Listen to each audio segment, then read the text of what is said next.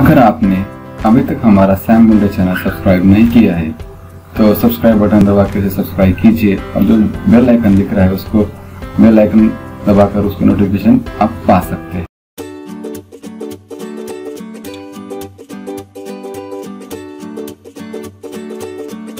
नमस्कार दोस्तों, स्वागत है मेरे चैनल पे।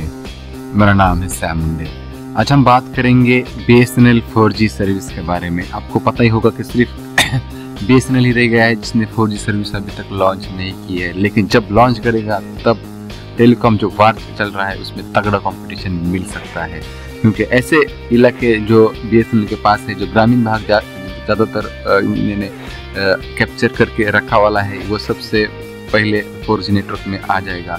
तो अच्छी बात है, जो भी हमारे ग्रामीण इलाकों में बहुत सारे ऐसे जो अपनी बी एस की फोर जी सेवा का आनंद लोग उठा सकते हैं। वो दिन बहुत जल्द आने वाला है। कुछ समय, कुछ दिन, चंद दिनों के बाद फोर जी सर्विस लॉन्च होने वाली है बी एस की।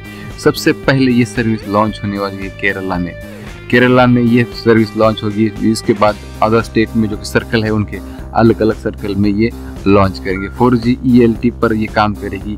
फ़िलहाल थ्री जी जो, जिसके जो भी बी एस का थ्री जी नेटवर्क है, वो सबसे ज़्यादा वीकनेस नेटवर्क या वीक नेटवर्क है, उस पर ज़्यादा गौर किया जाएगा वहाँ पे ज़्यादा सबसे पहले थ्री जी जो फोर जी नेटवर्क सबसे ज़्यादा लाया जाएगा। फोर जी सर्विस जो केरला के बाद उड़ीसा में शुरू करने जा रही है BSNL अच्छी ये बात है। उसके बाद अलग अलग तरीके से अलग अलग जो सर्कल है उनके उनके पास वो लेके जाएगी फोर सर्विस बी एस के पास जो फोर सर्विस के लिए स्पेक्ट्रम रहता है, इक्कीस जो इक्कीस स्पेक्ट्रम है, वो उनके पास ऑलरेडी मौजूद है। शुरुआती लॉन्च में इक्कीस स्पेक्ट्रम लगता है, वो उनके पास ऑलरेडी मौजूद है। जब भी अतिरिक्त स्पेक्ट्रम फाइव स्पेक्ट्रम की ज़रूरत पड़ेगी तो ये अन्य देश के, इसे अन्य जो फोर सेवा है, अन्य देश के हिस्सों में लगाने के लिए फाइव जी फाइव स्पेक्ट्रम होता है, वो उन्हें लग जाएगा। यानी फाइव एम जो बैंड रहता है, वो उन्हें लगने वाला है। तो अच्छी बात है, अगले जो 2018 आने वाला है, वो टेलीकॉम क्षेत्र के लिए बहुत बड़ा कदम हो सकता है। जैसा ही जियो जब लॉन्च हुआ हुआ था 2016 में, तब जो सत्रह में सबसे पहले, जो सबसे इफ़ेक्ट सत्रह में हमें दिखने को मिला था, उसी प्रकार से अब 2018 में टेलीकॉम वार का बहुत ज़्यादा से प्लान निकलने वाले हैं, जो अलग अलग तरीके से होंगे। क्योंकि बी एस अभी सबसे अच्छे फ़ैन दो दो, तीन तीन, चार चार जी आपको बहुत किफ़ायती दाम पे दे रहा है। वही प्लान जो कंटिन्यू किए फोर आने के बाद तो बहुत अच्छी बात होगी।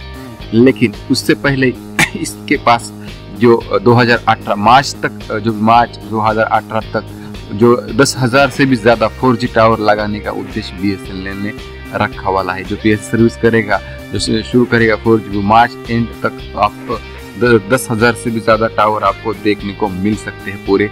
जो भी जहाँ जहाँ भी वो सर्कल में बी बेस लॉन्च करेगा, वैसे ही वो टावर लगाते रहेंगे। लेकिन उनका उद्देश्य है कि 2018 मार्च 18 तक ये दस हज़ार टावर आपको फोर जी टावर यहाँ पे उभारने की कोशिश करेगा बीएसएनएल एक जो कि उन वरिष्ठ अधिकारियों के सूत्रों से हवाले से खबर आई है कि ये जो अगले हफ़्ते यानी केरल, जो जनवरी केरला में वो स्टार्ट हो सकती है। फिर आग, करते करते, ऐसे करते थे पूरे देश में लगभग 2018 में पूरे देश में बी एस एन नेटवर्क शुरू करने वाला है।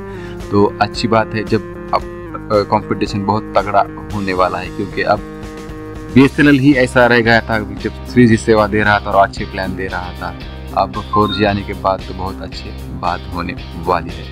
अभी तक सैम मुंडे चैनल को सब्सक्राइब नहीं किया है तो सैम मुंडे चैनल को ज़रूर सब्सक्राइब कीजिए लाइक कीजिए और शेयर कीजिए। तो चलते हैं फ्रेंड मिलते हैं ऐसे ही मोबाइल के अपडेट में।